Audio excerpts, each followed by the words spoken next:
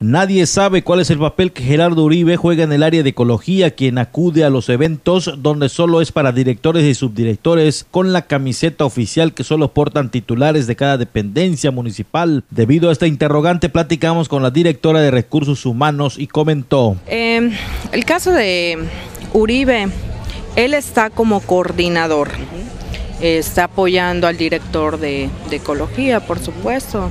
Eh, digamos, dentro de sus actividades eh, de él es eh, algunas reuniones, em, estar principalmente, digamos, en coordinación con el director y pues no tengo más que decir, o sea, de acuerdo a la categoría que yo tengo en la Dirección de Recursos Humanos, él está como coordinador.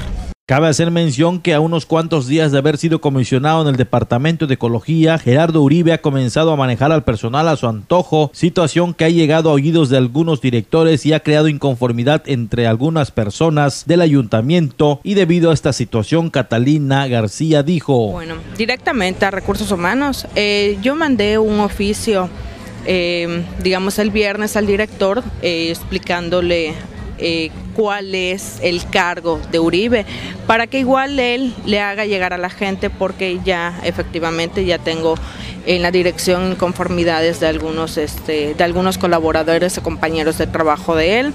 Y, este, y en caso de que siga incurriendo esta, diga, eh, pueden asistir a asuntos internos para que lleguen sus quejas debido al rumor que existe que este personaje de igual manera está cobrando en la Administración Portuaria Integral, fue cuestionado a la servidor pública y dijo que están analizando y corroborando esta información y posteriormente tomarán alguna medida. Tendría que checar esta situación. Aquí en ese sentido no te podría dar información errónea. Este, tendríamos que, que checar y digamos que entren las autoridades competentes. Y bueno, y de estar dándose eso sí se violenta la ley, obviamente, ¿no? Tendría que checar la ley si efectivamente hay alguna violación.